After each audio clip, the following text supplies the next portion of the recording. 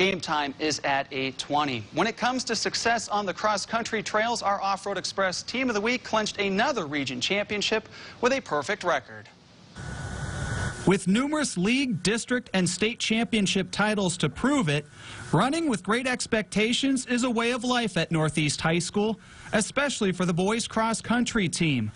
This year's Grape Pickers are carrying on that winning tradition, and it all starts with summer conditioning. What it does is it just it's, it's part of the tradition and it's part of their dedication as a group, and they have a good time with each other, and so that really helps.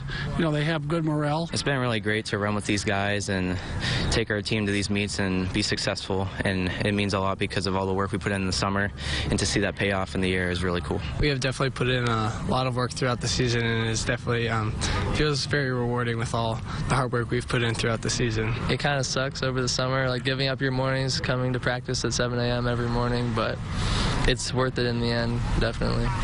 Congratulations to the Northeast Boys Cross Country Team, our Off-Road Express Team of the Week. Team of the Week is brought to you by Superstore Joe at Off-Road Express. Nominate your team on the contest page at yourerie.com. Get out and play.